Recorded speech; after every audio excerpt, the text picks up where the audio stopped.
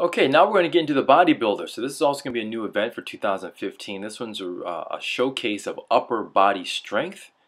So what you're going to do is a strict curl and a strict press, not using the legs in any of those actions. It's going to a no count, or no counts I should say.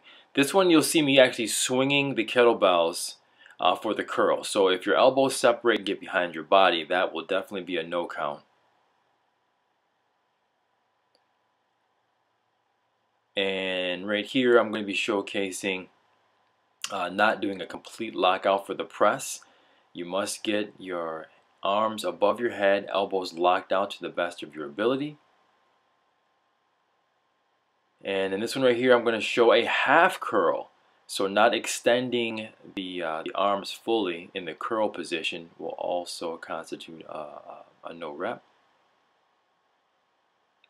And this one, using the legs and the momentum built up from the legs to actually curl the weight, that would be a no count. Then here I am going to be showing um, using the legs to do a push press.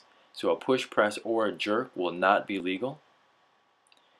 And then obviously using your legs to curl and then also do a push press or jerk doubly illegal.